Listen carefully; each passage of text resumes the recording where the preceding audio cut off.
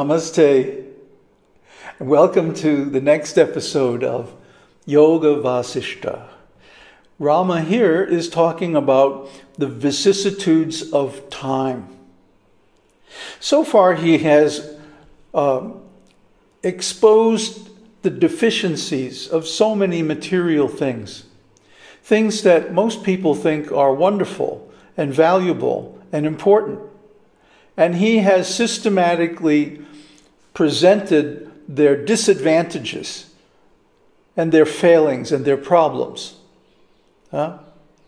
Everything from birth, youth, wealth, power, fame, old age, huh? even uh, sexual relations. There's so many things that people think are really wonderful. Rama has pointed out that these are all going to disappoint us. And so, actually, he's, he's been leading us along toward a certain point. And what is that point? that all these things that we consider important, valuable, pleasurable, enjoyable, and so on, are temporary. They're unreliable. And we have seen in our own experience that when these temporary things change, they can ruin somebody's life. My great uncle, Uncle Reg, he was a tough old bird. His whole life, from age 16, he was a milkman for Borden's. And he started with a team of four horses and a wagon, delivering these heavy metal cans of milk. Have you ever tried to lift one of those when it's full? it's like close to 100 pounds. So, from a very young age, he was involved in hard physical labor. And of course, later on, he came to drive trucks. And by the time he retired at age 65, he was driving a 60 foot semi trailer through the narrow streets of New York and delivering milk to hospitals and things like that. Not only driving, but also loading and unloading. So this guy was built, you know, he was strong. He was uh, resilient, tough guy. Well, when he retired in 19, uh, when was it? 68. At the age of 65 Within two years, he was dead. Why? He had lost the center of his life. His job was his life. He was his job. He was the milkman, uh, the driver. He was the dude. He was the man. And when he lost that, he didn't know what to do with himself. He'd sit around all day smoking, drinking, watching TV. And within two years, he had been hale and hearty. Oh, yeah, he had a little emphysema. But suddenly it got a lot worse when he stopped his work. And then suddenly he died. I've seen similar things happen to many people, and there have been movies and plays and novels written about this. Huh? Someone will be married happily for many, many years, and then the wife or husband dies, and the person is just at sea. They don't know what to do with themselves, they don't know who they are anymore. And so they deteriorate very quickly and die. This is the ruin of anyone who depends on something which is fundamentally undependable, fundamentally transient and broken. Why? Because it's material. Because it has material beingness, which is subject to time. So, slowly, slowly, Ram has been going through all of these things that we normally base our lives on our position, our wealth, our family, our bodies, our relationships, and so on. And now, finally, in the last few chapters of Book One, he's beginning to zero in on the real cause time. So, in this chapter, what is it? Chapter 23. He begins a series of chapters about time itself and how time is really the cause of all our suffering in material life. Let's look into it. Time is a rat that gnaws off all threads of thoughts that men may entertain about the contemptible pleasures of this world. There is nothing in this world which all devouring time will spare. He devours all things like an undersea fire consumes the overflowing sea. Time is the sovereign Lord of all, and equally terrible to all things. He is ever ready to devour all visible beings. Time, as master of all, spares not even the greatest of us for a moment. He swallows the universe within himself, whence he is known as the universal soul. Time pervades all things, but has no perceptible feature of his own except that he is imperfectly known by the names of years, ages, and millennia. So here's where Ram's speech begins to expose the real subject of Yoga Vasishta. Huh? Although he is speaking as an inquirer, Yet he is revealing some very deep insights of his own into what is really going on in the world and in life. Ultimately, of course, time is the universal soul. Time is God. Time is that thing which cannot be overcome by anyone. Even the whole universe has to disappear at the end of time.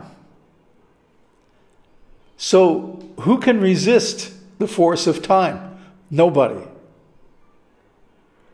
So, Rama is saying we have no choice but to surrender to this force of time. Time is the controller, the Ishwara. Time is God. And so ultimately, even though he has no perceptible feature, even though time has no form, no shape, no color, huh? still he controls and is the limit of everything. Time, accompanied by action as his mate, entertains himself in the garden of the world blossoming with the moonbeams of the divine spirit. As the high and huge rock supports its body upon the earth, so does time rest itself in endless and interminable eternity. Time assumes to himself the various colors of black, white, and red, which serve for his vestures. As the earth supports the great hills that are fixed upon it, so time supports all the innumerable ponderous worlds that constitute the universe. Hundreds of great kalpa ages may pass away, yet there is nothing that can move eternity to pity or concern, or stop or expedite his course. It neither sets nor rises. Time is never proud to think that it is he who, without the least sense of pain or labor, brings this world into play and makes it exist. So, this is time. Time is the cause of everything. Sarva Karana Karanam, the cause of all causes. So time is the supreme. Time is absolute, it neither rises nor sets. And just like a boulder is supported by the ground, time is supported by eternity. Eternity is another dimension. Eternity is a different world. This world is the world of time, so everything is temporary. But that world of eternity, everything is permanent. There is no beginning, no end, no change, no action, no movement, no location. In eternity, all is one. This is Brahman. This is the God. This is the infinite power that brings everything into existence and then destroys it at the end. Time destroys youth as the moon shuts the petals of the lotus. It destroys life like a lion kills the elephant. There is nothing so insignificant that time does not steal. After sporting for a kalpa period in the act of killing and crushing all living beings, time comes to lose its own existence and becomes extinct in the eternity of the Spirit of Spirits. After a short rest and respite, time reappears as the Creator, Preserver, and Destroyer of all, who remembers all. He shows the shapes of all things, whether good or bad, keeping his own nature beyond the knowledge of all. Thus does time expand and preserve, and finally dissolve all things by way of sport. So, time is not concerned. Time does not value these creations of the universe. He, he simply plays with them, huh? Like a juggler. The, the, the worlds and galaxies, planets and suns are just like balls in the hand of a juggler. And when he's done with his act, he simply throws them away and lets them fall. So time is supremely unconcerned with material values. From the viewpoint of time, None of this material world or creation has any value at all. Otherwise, how could he so casually create, maintain, and destroy it? Huh? In the previous reading, the colors white, black, and red were used. And these are also the colors of the gunas. White is sattva guna, red is rajaguna, and black is tamoguna. So these are the modes of time creation, sustenance, and annihilation at last red, white, and black. And they are also the colors of the avatars who sustain this creation and annihilate it in the end. So we should understand that this material creation and everything in it is simply temporary, and even time itself merges into eternity at the end. And then again it comes out. but in between, there is a moment of timelessness. And we can experience this timelessness through meditation. And that's what Vasishta is going to teach Rama as soon as he gets done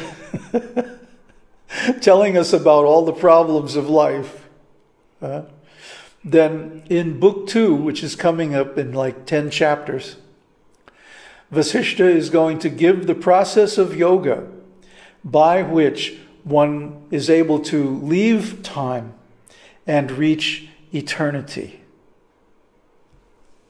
Aum Tat Sat. Harihi Aum.